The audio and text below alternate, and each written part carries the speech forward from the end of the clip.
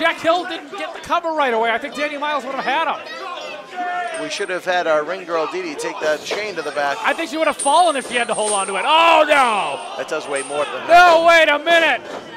Oh, not this way, Danny. You didn't need to. You didn't need to do that.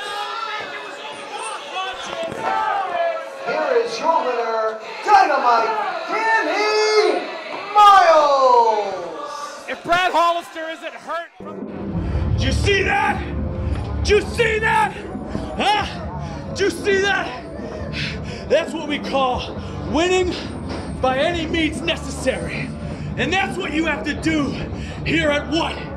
Over the last year, it's been nothing but an embarrassment for me, and that's over. That's over with that redemption win over that embarrassment, Brad Hollister. There's a championship to win in What Wrestling Now, and I don't care who wins it tonight. Dan Maff, AR Fox, this is your only warning. Watch your back.